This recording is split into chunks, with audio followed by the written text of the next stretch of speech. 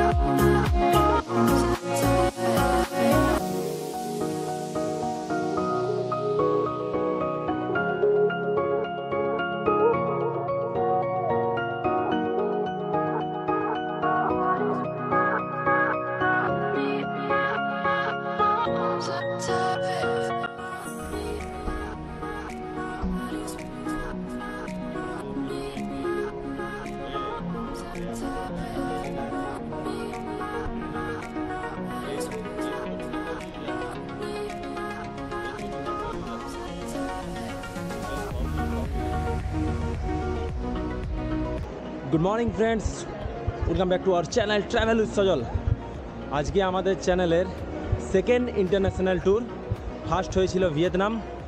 আজ আমি যাচ্ছি Bangkok. Four day five nights so guys সেখানে গিয়ে বিভিন্ন জায়গা আমি এক্সপ্লোর করব ব্যাংককের। এবং আপনারা সঙ্গে থাকুন। এবং ভিয়েতনামের যে ভিডিও আমি শেয়ার করেছি, আশা করছি আপনাদের খুব ভালো লেগেছে। এবং এর সাথে আমি ব্যাংককের এই ট্রিপ, এই ইন্টারন্যাশনাল সেকেন্ড জার্নি আমি আপনাদের সাথে শেয়ার করব। এবং এই ইন্টারন্যাশনাল জার্নির জন্য অবশ্যই এটা আপনাদের জন্য, বিশেষ করে আপনাদের জন্য এটা পসিবল হয়েছে। Thank you all of you all of guys সমস্ত সকলকে জানাচ্ছি। আমি চলে এসেছি কলকাতা নেতাজি সুভাষচন্দ্র বোস এয়ারপোর্ট। এখানে টিকিট নেব, টিকিট কালেক্ট করি। সামনে আছে টিকিট কাউন্টার। চলুন।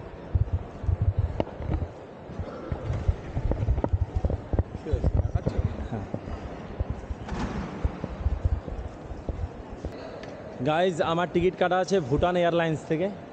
তাহলে আমার পাশে আছে ভুটান এয়ারলাইন্সের কাউন্টার। তাহলে সেখান থেকে টিকিট কালেক্ট করে নিই।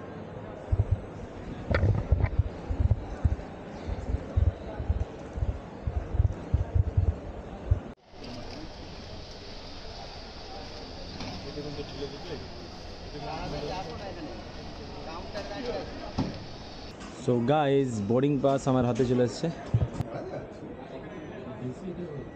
খুব কুইক তাড়াতাড়ি হয়ে যাচ্ছে। সো গাইজ ইমিগ্রেশন কমপ্লিট হয়ে গেল এবং চেক ইন পুরো কমপ্লিট হলো। আমাকে একটু আটকে দিয়েছিল আমার ড্রোনটার জন্য বাট আমি সমস্ত কিছু দেখিয়ে দিলাম। কোনো অসুবিধা হয়নি।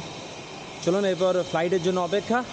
এখন টাইম হয়েছে সকাল দশটা, এগারোটার সময় ফ্লাইট আছে। সো কিছুক্ষণ ওয়েট করতে হবে, তারপর ফ্লাইট भैया आप यहाँ से यहाँ पर कितनी साल से काम कर रहे हैं चार साल से चार साल से टाइम कितना देना पड़ता है आपको आठ घंटा आठ घंटा ना और सैलरी कितना मिलता है हाँ बोलिए कुछ सैलरी हाँ सैलरी बीस बीस চলিয়ে থ্যাংক ইউ সো গাইজ দেখতে পাচ্ছেন এখানে ফিফটি পার্সেন্ট অফ যেখানে আপনি কিছু শপিং করতে পারেন, বিভিন্ন ধরনের ডলস আর খেলনা, এই ধরনের অনেক কিছু আছে চকলেটস সো গাইজ আপনারা এখানে কিছু যদি কিনতে যান কিনতে পারেন।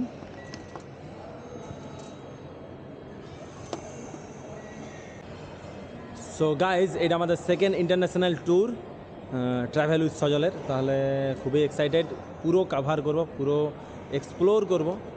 আমি এখন ওয়েটিংয়ে ওয়েট করছি। আর কিছুক্ষণ পর ফ্লাইট আছে এগারোটার সময়। এখন এই বাজছে দশটা তিরিশ। কিছুক্ষণ পর ভুটান এয়ারলাইন্সের যে ফ্লাইট সেটা আসবে। আমি এখন বসে আছি টুয়েলভ দেখুন।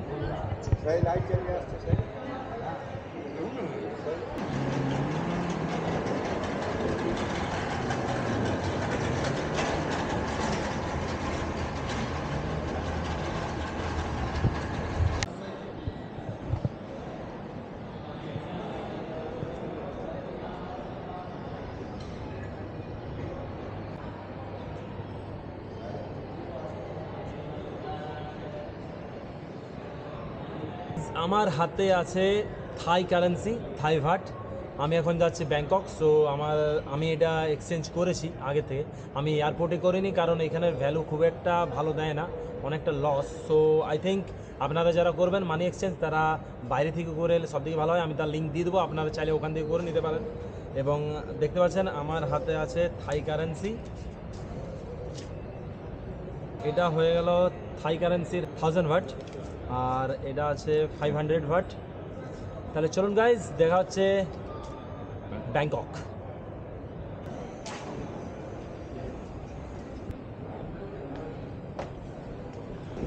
সো গাইজ অলরেডি ফ্লাইটে যাওয়ার জন্য আমরা বেরিয়ে পড়েছি। ফ্লাইট দাঁড়িয়ে আছে।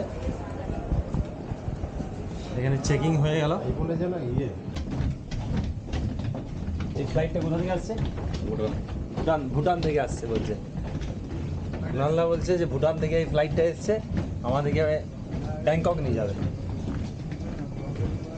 সামনে দেখতে পাচ্ছি কিছু ভুটানিজ এয়ার হোস্টেসরা আছে। আর পাসপোর্ট বের করা Oh হৃদয় চলে যাবে।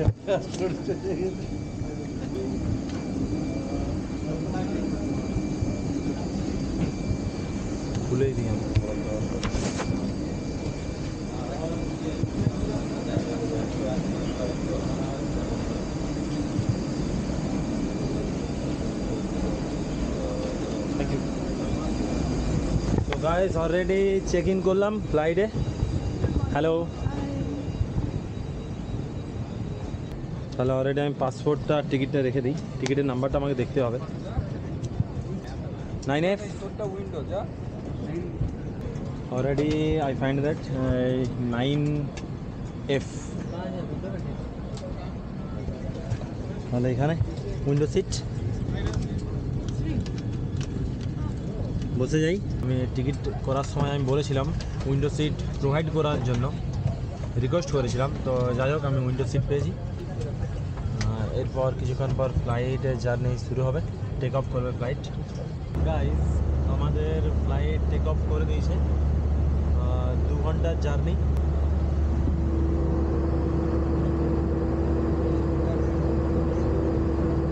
এই ভুটান এয়ারলাইন্সে আমি ফার্স্ট টাইম ট্রাভেল করছি। এখানে দুটো ড্রিঙ্কস প্রোভাইড করবে আমাদের।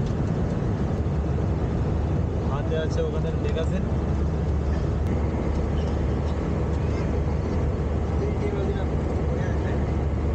চারটা কান্ট্রিতে এই এয়ারলাইন্স কাজ শুরু হয়েছে। ভুটান, ব্যাংকক ইন্ডিয়া এবং নেপাল। ভুটান এয়ারলাইন্সে এখন সময় হয়ে গেছে দুপুর। তার জন্য খাবার এখানে রিপ্রেজেন্ট করছে। খাবার দিচ্ছে সবাইকে। দুপুরের খাবার। সো দুপুরের খাবারে আমি নিয়েছি ননভেজ দেখুন। দুটো ড্রিঙ্কসের ব্যবস্থা আছে। দুটো ড্রিঙ্কস দেবে। চলুন, পুরোটা দেখ।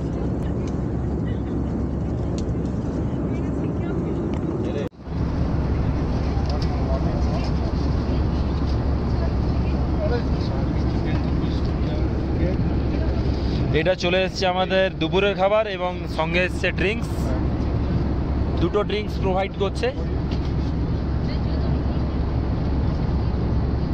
বিভিন্ন ধরনের এখানে ড্রিঙ্কস রাখা আছে। হুইস্কি আছে। জুস আছে বিভিন্ন ধরনের। ওয়াইন আছে দেখতে পাচ্ছি। সো গাইজ আমি এখানে নিয়েছি রেড ওয়াইন সরকার খাওয়া শুরু হয়ে গেছে। দেখতে পাচ্ছি।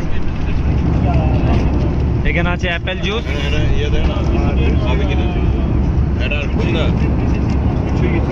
এখানে আছে চিকেন, চাপাটি এবং চাপাটির নিচে আছে রাইস। সবজি আছে কিছু। এখানে আছে সিময়ের পায়েস এবং এটা সবজি আছে। আমার হাতে আছে রেড ওয়াইন। এটা আছে আচার। এটা এখনও দেখা হয়নি কি আছে। এটা খুলে দেখছি কি আছে। ও গাইস এটার ভেতর আছে দহি। আর এটাতে একটা সুন্দর কাপ প্রোভাইড করেছে। চলুন গাইস শুরু করি। খাবার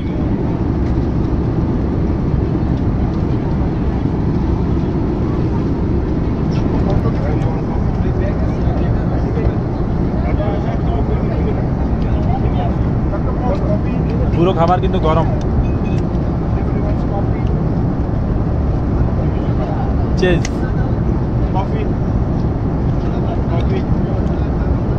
I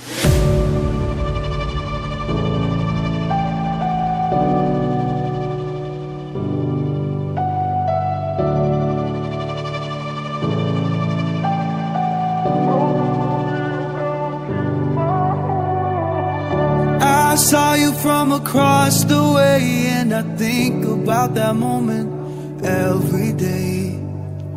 Holding on to that feeling is enough, it's enough for me. Your smile, it drew me in, and I bought you a drink, and ever since. I've come to know you, and that's enough. Oh, that's enough for me. Every time I'm there by your side, everything just feels so right. Every minute, every second, all memories I'll keep my whole life.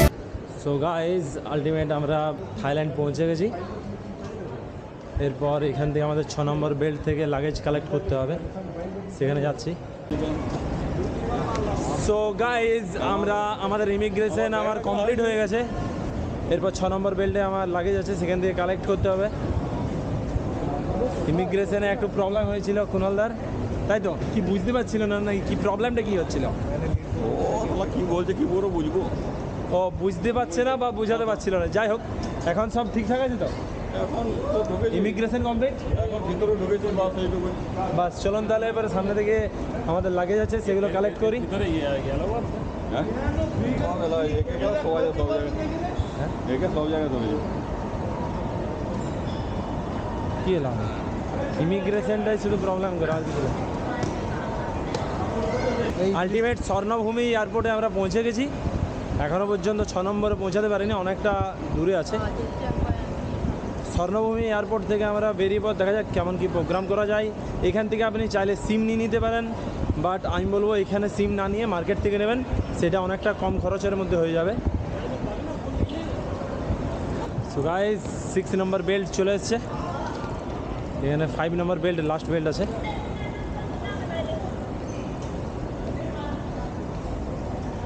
দেখি দেখি দেখি। আমারটা চলে যাচ্ছে। Guys আমার trolley bag এখানে আছে। এটা আমার। আমার ট্রলি ব্যাগ আমি পেয়ে গেছি। এরপর বাইরে বেরোতে হবে।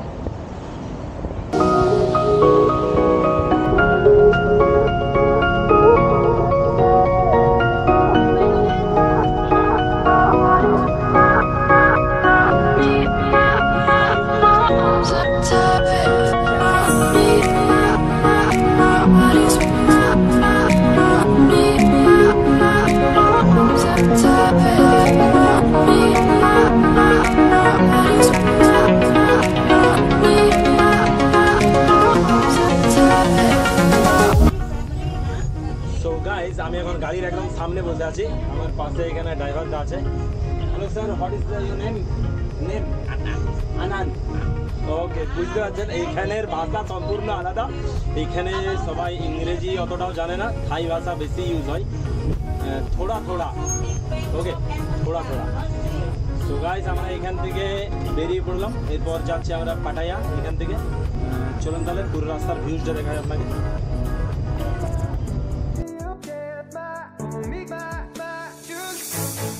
এরপর বাসে বিশ্রাম নিয়েই আমি বেরিয়ে পড়ছিলাম পাটায়া সিটি ঘুরে দেখতে। এর পরের পর্বে খুব তাড়াতাড়ি ফিরে আসব আমার সেই অভিজ্ঞতা নিয়ে। সঙ্গে থাকুন।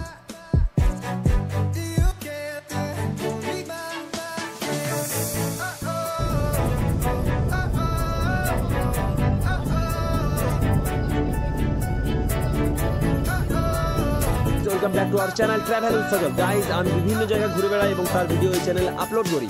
ভিডিও ভালো লেগে থাকলে অবশ্যই লাইক করুন, তার সঙ্গে চ্যানেল নতুন হলে সাবস্ক্রাইব করুন এবং নিচের বেল আইকনটা ক্লিক করুন। তাতে আমি যখনই নতুন ভিডিও দেবো গাইজ তার ইনস্ট্যান্ট নোটিফিকেশন যাতে আপনার কাছে পৌঁছে যায়। চলুন, দেখা হচ্ছে আবার নতুন ডেস্টিনেশন